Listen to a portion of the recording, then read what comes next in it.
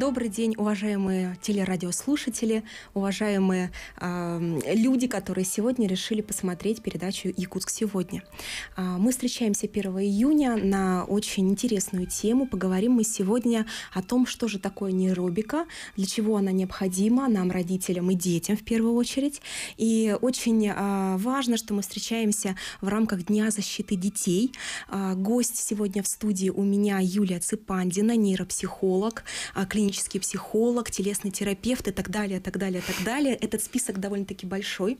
Я здесь выступаю сегодня в интересной роли. Я и веду эфир, а, при, при этом Юлия у меня а, в нашем фонде Харысхал, а, фонде поддержки детей а, инвалидов и детей с ОВЗ, Юлия у нас а, работает, да, таким внештатным, сотрудничает, сотрудничает да. с нами, да, а, и при этом я сегодня еще, позвольте, буду в роли мамы. Угу. А, у меня растет а, малыш, да, ему еще нет трех лет, и я вижу, что есть какие-то сложности, да, и, возможно, вы сегодня дали бы мне лично даже как маме определенные советы, как мне мне нужно а, с моим непростым сыном себя вести.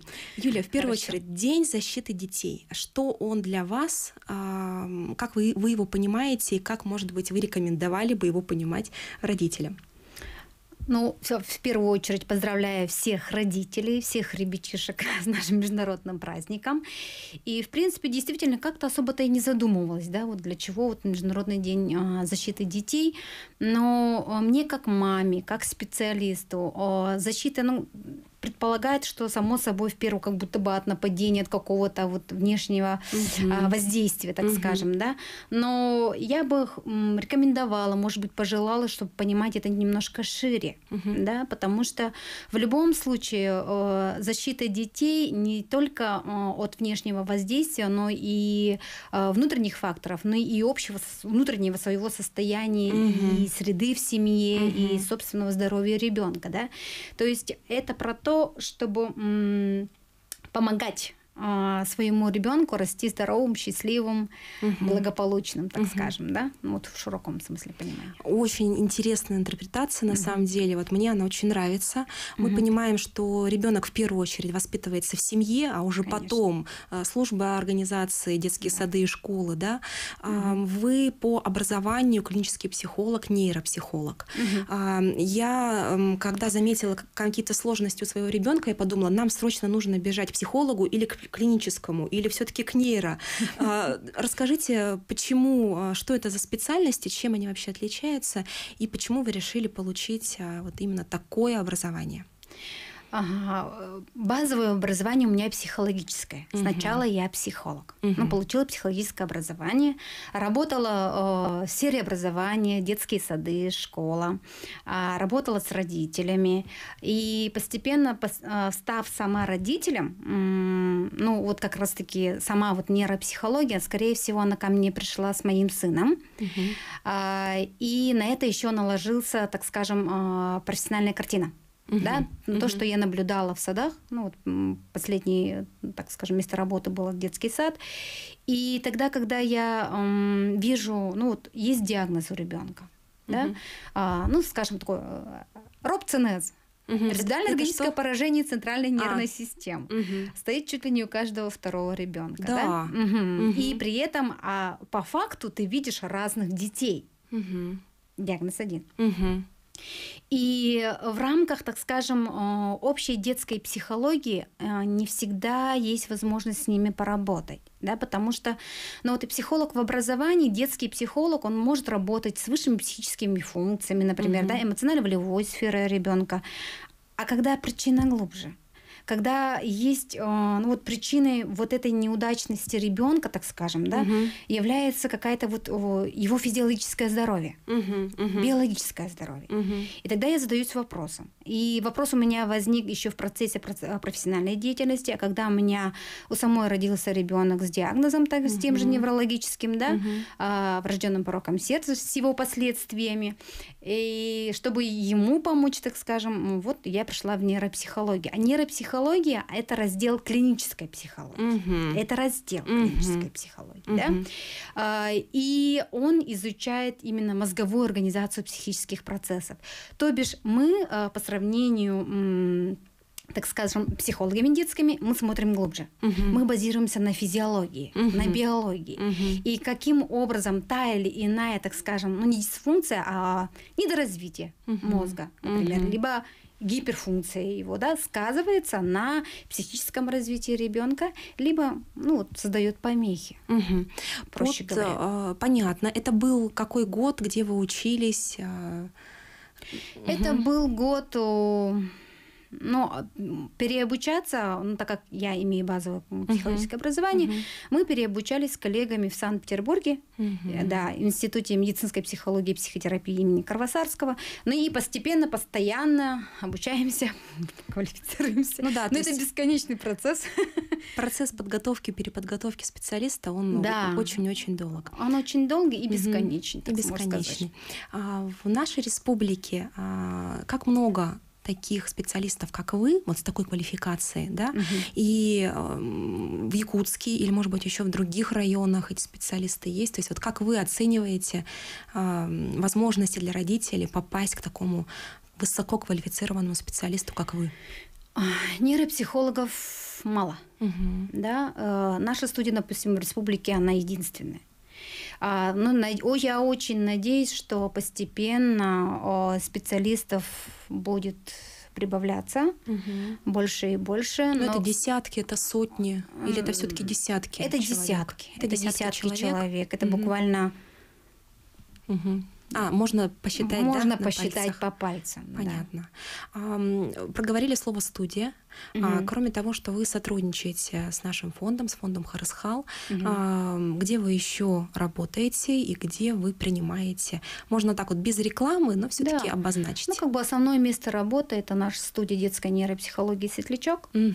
да, и у нас как раз-таки с фондом Харасхал договор, угу. и мы принимаем, например, отправляют детей на диагностику угу. через Харасхал, и дети с ОВЗ и с инвалидностью получают, например, скидку, да, на на да. диагностику. Да, да, да. А потом мы можем дальнейшее сопровождение угу. вести тоже. Угу. Вот. И, то есть мы работаем в частном порядке. Угу.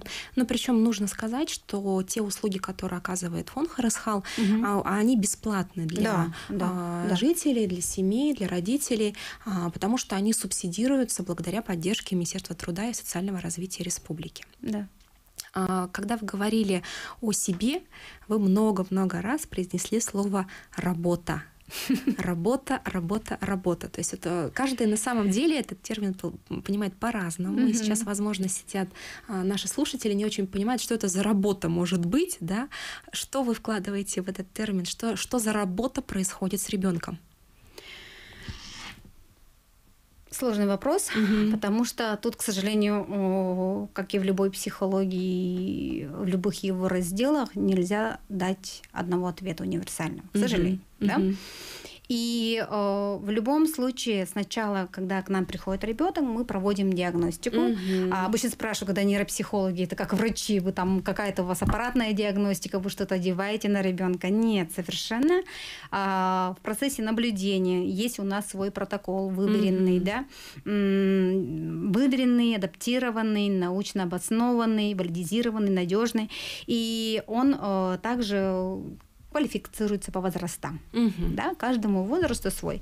И э, так как это все-таки э, мы проверяем и диагностируем, исследуем как детективы деятельность мозга, да, он у нас там сидит в темнице, мы его не знаем, ну, да? Да, да, конечно. Но мы видим продукты его деятельности через угу. моторику ребенка, угу. да, через движение ребенка, насколько ребенок хорошо владеет своими руками, угу. насколько у ребенка хорошо развита речь, насколько у ребенка хорошо зрительно-моторная координация, да, то есть насколько у него, так скажем, дружно работают глаза и руки. Понятно. Угу. Да, и все это через э, пробу мы проверяем, и а, основная как бы наша работа работа все равно первостепенно проходит через тело. Угу. Да? То есть через тело, через движение воздействовать на те функциональные э, зоны в головном мозге, которые э, посредством диагностики мы выяснили, что они, возможно, недостаточно развиты, недостаточно работают. Угу. Когда речь идет о детях, мы не говорим о нарушении. А. Мы всегда говорим о недоразвитии недостаточным развитии, потому угу. что э, мозг в этом возрасте, ну, в детском, он все время в динамике в развитии. Нарушение может быть только у взрослых. Угу. А у детей задержки, недоразвития, угу. несформированности. Это то, что еще, в принципе, есть возможность догнать с учетом да, того, что да. а, у ребенка все это очень пластично. Таком, пластично, да, пластично. Да. То есть сначала это диагностика, да. а, далее а, это какие-то коррекционные мероприятия. Да, мероприятия. Да. Ага. Причем вот эти коррекционные мероприятия, они проводятся с кем? Только с ребенком или же только с ребенком мероприятие, но о, мы же психологи. Да. мы психологи. Мы э, не просто работаем с детьми да, мы э, знаем, так как о, первостепенно, о, имея понимание, что система очень четко влияет на ребенка, система uh-huh. семьи, uh-huh. да, uh-huh. А, вот даже просто взять а, настроение мамы, угу. настроение мамы, атмосфера в семье. Поэтому э, мы уже сейчас э, всегда, вот лично я, например, да, э, когда я вижу ребенка и ну, вот все равно общаюсь с родителями, и бывает случаи тогда, когда я возьму ребенка после того, угу. когда после того, как я поработаю с вами. Угу, с родителем, с, с мамой в первую очередь. В первую очередь да? с мамой. Чем угу. меньше ребенок, чем больше мамы, угу. так скажем, да. И поэтому мы сейчас ведем у очень многих родителей параллельно. Ага. Угу. Потому что с нами ребенок делает два шага вперед и попадая в привычную среду, например, той же тревожной маме, либо той же холодной маме, да, да. А, либо а, той же гиперопекающей маме, угу. он может сделать шаг назад. Поэтому угу. нам очень важно, чтобы результат деятельности ребенка это не только как бы наш вклад в его развитие, да, это очень важно, чтобы еще параллельно а, удерживать правильную, так скажем, среду дома. Угу. А для этого нужно, возможно, в каких-то ситуациях маму научить да. этому, да, и да. папу научить Конечно. в том числе. Ну Конечно. Ну да, все, все же чаще всего мы говорим про маму в первую угу. очередь, потому что мама всегда ближе. Да. А, таким образом, да, а, диагностика, далее коррекция, а потом как происходит вообще закрепление вот каких-то результатов? Есть вот какой-то такой механизм, да, чтобы а, дальше уже не требовалась помощь специалистов. То есть, вероятно, да, ну, понятно, что ребятишки с инвалидностью угу. это постоянная реабилитация, постоянное подключение специалистов на тех или иных уровнях развития, да. Угу. Если все же есть нормотипичность, да, то дальше как-то закрепляется или нет? Мы сейчас уходим на рекламу. А после рекламы Юлия ответит на наш вопрос. А я хотела бы сказать о том, что мы работаем в прямом эфире. Вы можете звонить по телефонам 32 0066, 32 11 66 и задавать свои вопросы Юлии. Пользуйтесь возможностью, пользуйтесь моментом. А, вернемся после перерыва. Спасибо. Возвращаемся мы после перерыва на а, передачу «Якутск сегодня». Эм, напоминаю о том, что мы сегодня разговариваем с, нейро, с нейропсихологом, с клиническим психологом Юлией Цепандиной. И а, был задан такой вопрос, а, что ребенка обследуют далее и корректируют да, его поведение, работают с родителем. И как же потом все-таки нейропсихологи закрепляют проведенную работу? То есть через что это делается и делается ли? Конечно, потому mm-hmm. что, ну как закрепляется, есть определенный э, курс, mm-hmm. так скажем, да, определенное количество занятий, э, часто выбирается под ребенка, и обязательно э, берется каникулы перерыв. Угу. Да, берутся обязательно каникулы перерыв, потому что это, ну вот, чтобы вам было понятно, это как бесконечно учиться. Угу. Вы каждый день что-то учите, что-то угу. осваиваете, повторяете, повторяете, повторяете, э, но при этом каждый раз, ну, бесконечно. Понятно. Мозг ничему не учится. То есть родители должны быть готовы к тому, что это процесс непрерывный, и да. он идет во благо. К нам поступил звонок в студию. Пожалуйста, Алло, представьтесь. Здравствуйте. здравствуйте. А, это вот папа ребенка инвалида звонит. Угу. А, мы бы нам вот э, мы не никак не нет, никак не можем это угу. а, как э, одолеть нашу школьную программу. Угу. Угу. Вот, и нам нужен вот клинический психолог. Угу. Вот, и как вот к вам можно попасть на прием? Угу. А, угу. Еще, пожалуйста, дополните, где вы проживаете в городе Якутске? А в Якутске. Вы находитесь в городе Якутске. Да, мы в прошлом году вот из района приехали. Угу. Угу. Вот. А можно, да, сейчас спросить, ага. а вы о, сейчас хотите немножко поменять программу обучения или как? Для чего да, вам вот нужно? программу обучения поменять. ПМПК пройти, да? Да. Ага. Угу. Я бы сказала так, что необходимо обратиться в первую очередь в контакт-центр а, нашего фонда. Угу. Сейчас я а, озвучу номер контакт-центра фонда Харасхал 8 914 270 58 87. Попасть на бесплатную диагностику, да, может быть, э, со даже скидкой. да, угу. со скидкой, да, с определенной. Ну и далее Юлия уже, возможно, да, возьмет вас в работу. Вот. Еще а, раз по повторю контактный телефон а, контакт-центра фонда Харасхал 8 914 270 58 87. Смотрите, вот тут, возможно, был вопрос в другом, угу. да, потому что, когда спросили именно клинического психолога для того, чтобы поменять программу обучения, угу. ребенок проходит ПМПК, Понятно. Да? Угу. И для того, чтобы пройти ППНК, он должен пройти э, диагностику интеллекта. Угу. Но сейчас его немножко, так скажем, ну, вполне себе справедливо дополнили нейропсихологическими пробами. И, э, скорее всего, вопрос стоял в этом, да, как пройти вот эту диагностику. А, такая услуга э, у нас есть угу. тоже, да, то есть у, с этой диагностикой, с этими результатами вы идете на ПМПК, Угу. И оно имеет тоже вес в принятии решения. При принятии решения. При принятии по решения, какой по какой программе да, будет обучаться ребенок. ребенок. Я надеюсь, что мы ответили на ваш вопрос. Для тех родителей, которые пока еще воспитывают совсем маленьких малышей и не знают, mm-hmm. что такое ПМПК, а, поясним, что это психолого-медико-педагогическая комиссия, которая принимает решения на определенных этапах жизни ребенка о том, а, какую программу способен освоить ребенок. Да. А, и, для таким... этого требуется вот экспериментальное психологическое исследование. Да. Угу. А, и а, от этого как раз такие ребята потом попадают или в обычные классы, или в коррекционные классы, или в коррекционные школы седьмого или восьмого вида. То есть там вот да. есть и разные с вашего виды. позволения, да, угу. чуть-чуть дополню вот этот вопрос, когда угу. мы э, занятия проводим, вот первый вопрос, который вы задавали, да? Да. И обязательно нужны перерывы, чтобы в этот момент момент мозг сам выстраивал угу. да, налаживал. Угу. И мы в этот период очень часто у детей как раз-таки а, происходят вот такие очень замечательные скачки. Угу. Мы, скачки, они есть, результаты есть в процессе занятия, угу. а в процессе отдыха они наоборот еще больше закрепляются. А, вот в чем дело. Да, вот Интересно. в чем дело. Да, Но что... и тогда родители должны обеспечить этот процесс отдыха, чтобы угу. это был, вот, то есть не нагружать. То есть, ага, у тебя получился скачок, сейчас я тебе там угу. будем готовиться к ЕГЭ 11 класса, да, например, ну, грубо говоря. Да, да, да. Ну вот, так скажем, в легкой форме они его просто поддерживают, и все. Да? То есть это не значит, что вот все, мы вот занимались, остановились, все, мы забыли мячики, никакие упражнения мы с вами не делаем, нет. Да? То есть мы не скатываемся э, старые, так Да. скажем, привычки и манеру поведения. Мгм. Мы чуть-чуть закрепляем, удерживаем, Мгм. а потом через какое-то время ребенок к нам возвращается, и мы идем дальше. И идем дальше. А, такой вот вопрос, про который мы раньше не обговаривали, но прям хочется спросить.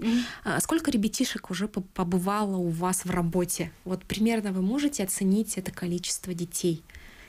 Вот примерно даже не оценю, потому что много. Ну, то есть это тысячи, возможно, да? Ну, В той или иной точно степени. нету. Мгм. Ага. Ну, через диагностику, да, скорее всего, уже больше сотни. Мгм. Да, и так как о, на коррекционной работе у нас о, есть ребятишки, которые ходят годами, да, то есть Годами. с паузами, да, с паузами Мгм. ходят, Мгм. и родители, ну вот радует то, что родители заинтересованы. Но если в том, они видят помогать. результаты, Да. то, конечно, есть заинтересованность. У Да. нас снова поступил звонок а, в нашу студию. Пожалуйста, представьте, задайте свой вопрос. Здравствуйте, меня зовут Вероника. Здравствуйте. У меня не Мгм. вопрос, Мгм. а, хочу слова благодарности сказать Елене Кентьевне, студии М. «Светлячок». Мгм. Мы занимаемся второй год, и очень жалею, что поздно мы к ним пришли. э, после второго занятия у нас уже пошел прям скачкообразный процесс Мгм. с э, речью проблемы у ребенка. Ну Вот. И сейчас продолжаем ходить. И бесконечно благодарна фонду Харсхау М, Спасибо за огромное. помощь, за сопровождение, за за то, что помогают а, родителям ориентироваться в этом мире, потому что, а, конечно, диагноз это Мгм. всегда очень большой стресс, большая нагрузка на всю семью Мгм. и, естественно, ребенка. Мгм. Вот и больших успехов вам желаю, Харасхаву и Светлячку.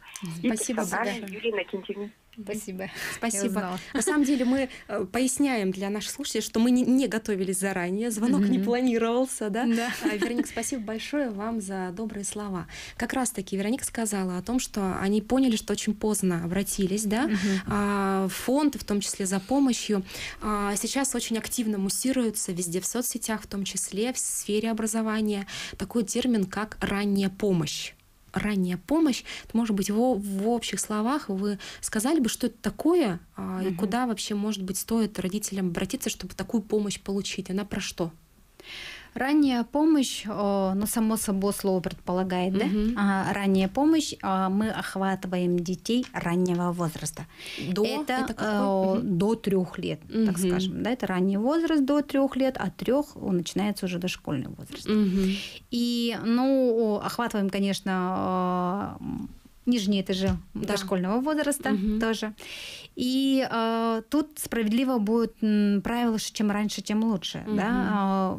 По сравнению с тем, ну, даже вот в временной перспективе, для того, чтобы наверстать, э, так скажем, упущенное, скорректировать, да, а тому же пятилетке, шестилетке понадобится год. Мгм. а трехлетке может понадобиться полгода. Мгм. Да, то есть, в принципе, там темп разный, Мгм.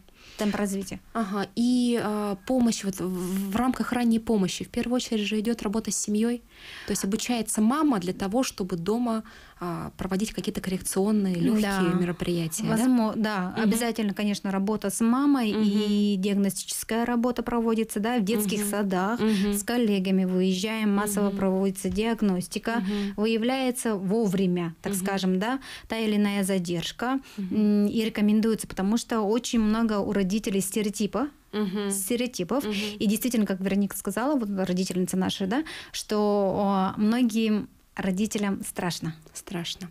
А, Вероятно, к нам снова поступил а, звонок от одного из родителей. Пожалуйста, А, представьтесь. день. Здравствуйте. Здравствуйте. А, Здравствуйте. добрый день, Юля. Здравствуйте. Добрый день, ведущий. Ага, Любовь меня Поздравляю вас зовут. сегодня Да. с Днем защиты детей. Мгм. Передача очень кстати. И зовут меня, ну я не скажу, а, ну это, я хочу вот что сказать. У Юли спросить, как у психолога, вы тут перечислили 15 или 17 специальностей. Юля, вот я на собственном опыте воспитал, я очень пожилой человек, Мгм. 80 лет. И вот я хочу сказать, я своих внуков воспитывал, так что вот только на игре играть, общение и личный пример, вот три. Запомните-ка, Юля, я хочу вас спросить, правильно я делал и не- неправильно делал по психологии. Восхитительный Допустим, вопрос. Вот, э, Суворов психолога вообще не знал.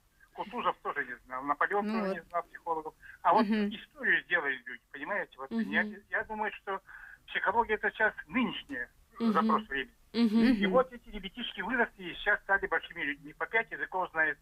Одна в Канаде, другой в Японии. Вот должны Мгм. не знали, школу закончили, пять языков знают. Мгм. Вот правильно я делаю или нет, Юля? Только игра, играл с малых лет, общался и на своем личном примере. Делайте, как я говорю. Юля, спасибо тебе. Вот, да, а, благодарю вас за вопрос, замечательно, да. Мгм. Вот тут о, пример образца, Да. да, вот тут о, сам наш а, слушатель является вот Мгм. тем эталоном, который Мгм. повел за собой Мгм. Мгм.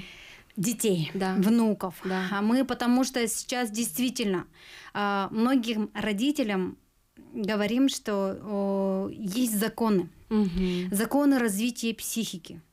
И игра это один из важных моментов и все вариации игры. Угу. Есть, э, ну вот в том плане, что вот игра она бывает разная, угу. да. Угу. Если вот в раннем детстве это очень много э, двигательной игры, в дошкольном э, возрасте уже появляется сюжетная игра, в дочке матери, да, вот в машинке, гаражи привозить, увозить, разговоры в процессе этого, да. Но э, многие родители, ну вот, к сожалению, не играют. И мы сейчас э, в этом плане психологически просвещаем, просвещаем детей, что играть нужно. И, не, к сожалению, никакой прогресс никакой прогресс, никакой гаджет не заменяет, к сожалению, а, личного общения угу. и личной сказки. Никакая аудиосказка, какой бы приятным голосом, угу. со всей интонацией, угу. да, вот угу. она включенная ребенку, она читает, не заменит э, настоящего голоса мамы, папы, бабушки, дедушки, когда включается вот просодика речи. Ребенок угу. видит мимику, угу. да, угу. ребенок видит контакт, ребенок всегда может задать вопрос, да, да, да, да, и получается и живое, да, получить ответ. живое общение. Угу. Аудиокнига так не останавливается, угу, да. Угу. А, поэтому в любом случае это как совершенно верно играть, общаться, и быть примером. И быть примером. И быть примером, что, на мой взгляд, прям самое-самое Это важное. фундамент. Да. А, сейчас максимальное ускорение темпов жизни. Родитель mm вынужден зарабатывать, добывать деньги и иногда просто не успевает обратить внимание на своего ребенка. Для этого психологи нужны, чтобы вернуть родителя в реальность. Уходим на перерыв.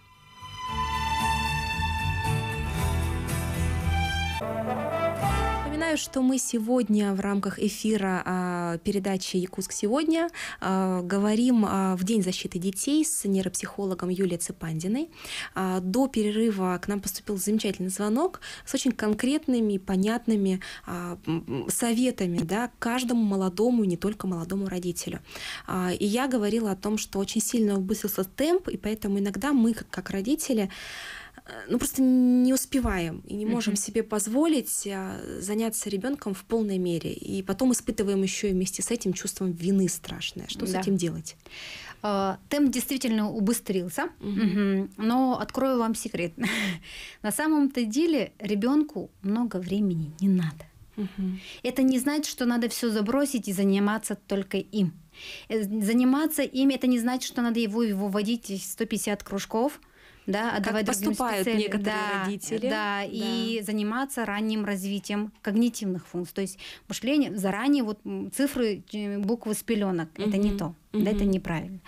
А, да простят меня, наверное, да? да. А, но тем не менее, э, возвращаясь к вот этому к золотому времени, который вот ключевая такая рекомендация, вот обращайте, вот ребенку не хватает внимания. Это значит, что, что качественное время, буквально 15-30 минут в день угу. ребенку хватает. Угу. То есть что значит качественное время? Это когда мы сидим глаза в глаза, а, тело в тело буквально, да, в одном пространстве, и мы во что-то играем, общаемся, это наше время с ним. Угу. Сходить в парк, сходить в кино – это некачественное внимание. Угу. А, сидеть, смотреть... Когда ты его держишь за руку, он идет где-то там, да. а ты где-то здесь, у тебя да. в голове работа. Да. да, либо он там в парке бегает, а ты сидишь там да, на да, лавочке, да, да, да. наблюдаешь, да-да-да, сына, дочь, да? да, да То да. есть о, вот это не то. Угу. Э, это не та галочка, угу. это отсутствие внимания. Угу. Хорошо, когда я в парке вместе с ним там ковыряюсь в земле. Угу. Вместе с ним я трогаю, щупаю, нюхаю, проверяю, рассказываю ему, угу. просвещаю. Да? Мы угу. вместе там строим, лепим. Когда мы вместе, вот это есть качественное время. И его на самом-то деле для а, психологического благополучия ребенка много не надо. Угу. Вот Понятно. 15-30 час. Вот макс. я сейчас э, сижу, оцениваю, сколько я времени провожу да. с э, младшим сыном. Да, галочку поставила нормально, а вспоминаю про то, что, оказывается, со старшим я провожу времени гораздо меньше, и есть о чем подумать. Сегодня в День да. защиты детей. Да. А, я очень надеюсь, что наши радиослушатели, телезрители тоже слегка задумались об этом. Угу. С учетом того, что да, сейчас я работаю в фонде Харесхал, начала изучать статистику, и страшные данные ко мне да, пришли о том, что у нас идет очень ранняя инвалидизация, да, то есть статус ребенка инвалида дети получают все раньше и раньше. Это раз. И два, у нас сейчас большой рост ребятишек, у которых выявляют а, расстройство аутического э, спектра, спектра, аутизм, да, простыми словами. Ну, на самом деле там много-много-много много, вариаций. Много, много вариаций. Угу. А, как вы думаете, с чем это связано? И э, как-то это можно изменить, поменять, э, что-то сделать срочно, экстренно. Палочки, к сожалению, нет, так скажем, да, волшебные. Но действительно, э, расстройство аутистического спектра и аутизм это разные вещи. Да. да? И аутизма, видов аутизма в классическом варианте у нас в республике не так много. Да? А тех же синдрома Аспергера, Ретта, да, Каннера, крайне мало. Угу. Но с атипичным аутизмом есть, да, например, ну вот есть вариации, но угу. в основном вот преимущественно раз. Но нельзя, нельзя э, исключать тот момент, что, возможно, есть э, момент гипердиагностики, угу. когда, э, так скажем, ситуация чуть-чуть преувеличивается. Преувеличивается. С учетом того, что специалистов да. стало больше, угу. родители стали... Сейчас вообще, в принципе, стало гораздо больше информации об этом. Да. Правда? Информации ведь? стало много, и действительно, когда к нам приходят родители, когда они наблюдают своего малыша, вот этого неконтактного, например, угу. да, глазки не смотрят, угу. машинки в рядочек складывает, угу. а, а не аутист ли он у нас, да, угу. вот прям с таким запросами и приходят, угу. да, потому что они как бы сложили 2 плюс 2, и получилось у них 4, И да? поставили сами диагноз и, своему и, ребенку. Да, сами поставили ему диагноз. Угу. А, но на самом-то деле и в медицине такое тоже может случиться, и в психологии тоже может такое случиться. Такая же история сейчас у нас, к сожалению, с, с, с ДВГ да, а... синдромом дефицита внимания и гиперактивности тоже угу. очень много ставится. Угу. И на самом-то деле не всегда а, оно имеет место быть. Понятно. Да, потому что на самом-то деле расстройство аутического спектра серьезный диагноз ставит его психиатр, угу. и оно на основании достаточно длительного наблюдения за ребенком, угу. потому что любая ситуация, тем более когда есть действительно какие-то нюансы сенсорной обработки информации, сенсорной, угу. то есть чувствительной угу. увидел, услышал, понюхал, угу. да, угу. А, трудности некой коммуникации это еще не факт. Угу. Это не факт. Что и тогда, когда, диагноз. да, угу. и когда ребенок приходит в ситуацию, вот чисто визуально, вдруг ему тетя не понравилась. Понятно. И он закрылся, и, и он закрылся. с ней разговаривать. Да, угу. и специалист не понравился, да, и либо он так волнуется, что он гипервозбуждается, и угу. он носится, угу. но он так выражает свой стресс. СДВГ. Угу. Да? Все, ставят, ставят ярлык. И, ярлык и, и, и все. Понятно. Да? Что с этим делать? А, перепроверять? А, перепроверять я бы рекомендовала перепроверять. Угу. Да, перепроверять и действительно вот к двум-трем специалистам обратиться, угу. да, и либо желательно, если вы занимаетесь логопедом, психологом, очень важно, когда оценивает ребенка специалист, который его ведет, ну, например, с рождения. Да? А, то есть не просто пришли к, не просто к неизвестной пришли. тетеньке, да? Да, да, угу, да угу. когда не дается время адаптироваться ребенку. Понятно. Угу. Да, и, и там практически практически невозможно увидеть ребенка. То есть в друзья нужно завести детского психолога, подружиться, э, дружить с семьями. Невролога своего найти, да? Найти а, своего специалиста. Да, и не менять их очень часто. Например, вы нашли неврологи, и он, вы его посещаете из года в год, из года в год, он вас ведет. И в динамике видит. И в динамике видит, и ребенок, ребенок к человеку привыкает. Понятно успокаивается, угу. да, и появляются шансы проявить себя таким, какой ты есть. Понятно. Угу. Очень хороший совет. Да. А, давайте будем брать его на вооружение. Хорошо. Я, например, немного тревожная мама, поэтому я тоже проходила тест на а, аутизм с, с младшим сыном и так далее. Чего угу. только не было на самом деле. Да. А, вы также специалист по нейробике. Для меня этот термин, честно, неизвестен. Угу. Что это такое, с чем его едят? Ну, не спе- нельзя сказать специалист по нейробике. Mm-hmm. это тоже также про а, мозговое развитие, mm-hmm. так скажем. Да? Это, о, проще говоря, гимнастика для мозга. Mm-hmm. На самом-то деле она зародилась в Америке. Лен Гаркац, он нейробиолог. И о, вот корни идут, идут оттуда, но основ, она в основном разработана для взрослых. Mm-hmm. Для детей она не имеет места быть, так скажем, угу. да? Не адаптировано. Не да? адаптировано, так угу. скажем. Угу. И так как это ребенок развивающийся, человек, да, субъект, и как-то туда вклинить бывает сложновато. Другое Понятно. дело, когда человек уже взрослый, у него, так скажем, пути нейронные все устаканились, и мы с возрастом начинаем замечать, что как-то мы думаем медленнее, mm-hmm. как-то память ухудшилась, То есть тех, мышление. У кого деменция и так далее, да? Нет, нет, нет, нет, нет, нет, нет, нет, это для нас с вами. А. Это не а. про болезнь, а. да? Э, это ни разу не про болезни, это про преобладание автоматизма над чем-то новым. Понятно. Понятно. Да, когда мы, э, вот я правша, я каждый день чищу зубы правой рукой. Uh-huh. А давайте вы сегодня помоете, почистите их левой рукой. Uh-huh. А давайте вы помоете посуду сегодня левой рукой, uh-huh. да? А, ну, есть не обязательно. То есть тогда, когда э, гимнастика, она предполагает давать новую нагрузку м, непривычную угу. нагрузку для мозга угу. через движение. Угу. А тогда, когда мы это пытаемся адаптировать для детей, нейробика у нас э, с фондом э, мы реализуем его в детских садах да. в целях профилактики, угу. да, угу. и мы под каждый возраст э, возрастную группу да, возрастную группу разрабатываем, ну, подбираем, не разрабатываем, подбираем упражнения, угу. э, адаптируем их, да, угу. и составляем комплекс упражнений, которым обучаем педагогов. Педагогов. Угу. Педагоги э, вводят его в обычный ритм детского сада, групповых занятий угу. и ведут, конечно, наблюдение. Угу. Да?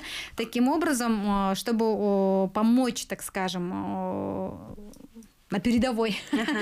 чтобы те зачатки, например, скажем, задержки развития можно было бы э, ликвидировать на местах. Ага. А где сейчас реализуются э, программы по нейробике? То есть какие детские сады уже включились? Вот, Очень и... хорошо. У нас угу. на передовой идет Золотинка. Угу. Золотинка, а, Прометей, угу. Прометейчик, угу. да, и у нас в Мархе Солнышко подключается. Угу. Еще то, есть, э, то есть это зависит от инициативы педагогов. Они узнают да. об этой программе, да. выходят с инициативой. Да. Если, например, нас сейчас слушают родители, услышали, подумали, что да, мы хотели бы, чтобы с нашими с ребятишками так занимались, они могут, да, выйти с инициативой, переговорить, например, с педагогом и предложить э, Конечно. вот эту историю Конечно. внедрить, да? Конечно. Угу. А, и внедрить можно, но и еще круче в этом плане в, в рамках раннего развития, так скажем, да, как рекомендация. Вот тут о, мы сейчас имеем обратную сторону медали прогресса. Угу. А, что мы видим, а, каким образом а, прогресс влияет, искажает развитие, так скажем, детей. Угу. Создает... Вы имеете в виду гаджеты? Не обязательно. Ага. Да, не обязательно. Ага.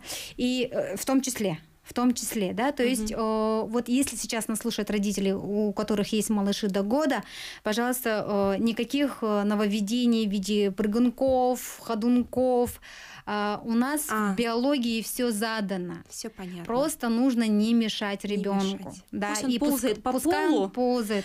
Посмотрите, как он ползает. Грызет ботинки.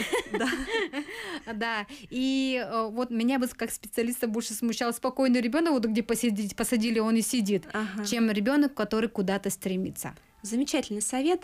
Отпустите своего ребенка, да. да, наблюдайте за ним, да. но будьте рядом. Да.